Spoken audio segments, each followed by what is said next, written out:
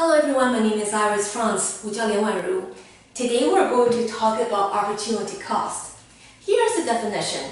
Opportunity cost is the best alternative given up. So for example, right now you're watching this YouTube clip.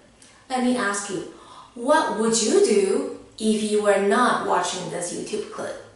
Let's say you say that, mm, I would like to take a nap if I were not watching your clip. Then the foregone sleep or foregone nap will be the opportunity cost of watching this YouTube clip.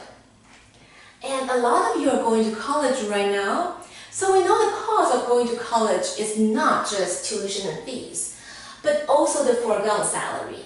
Let's say if you are studying full-time, that means you will have to give up your full-time job. Let's say that if you are not going to college, your full-time job will pay you $25,000 per year. Then the opportunity cost of going to college for one year will be the tuitions and fees and the foregone salary for $25,000 per year. Now there are some activities you feel that are free, say um, reading and relaxing in your backyard for one hour. You don't have to pay anyone to do that, so you feel that's free. Well, actually that's not free because there's always opportunity costs associated with the activities you choose to do. If in this hour you're relaxing in the backyard, that means you're not using that one hour to say work for Starbucks or to tutor.